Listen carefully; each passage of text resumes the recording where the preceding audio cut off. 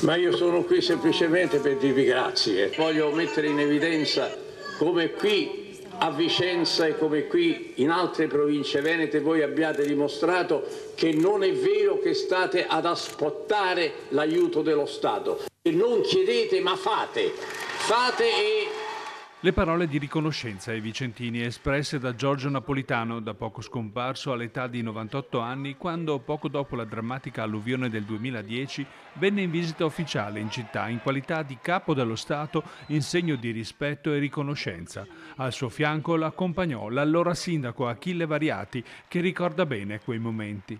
Vicenza era stata colpita da un'alluvione assieme a Caldogno e ad altri territori del Vicentino e lui venne per ringraziare i volontari, giovani e non giovani, e si mise la pettorina come un giovane per dimostrare la vicinanza dello Stato e delle istituzioni in un momento di dolore. In seguito alla scomparsa del Presidente emerito della Repubblica, tutti gli edifici pubblici veneti esporranno le bandiere a mezz'asta fino a martedì, giorno della celebrazione del funerale di Stato e giorno di lutto nazionale. Ad esprimere ufficialmente il cordoglio a nome della città anche il sindaco Giacomo Possamai.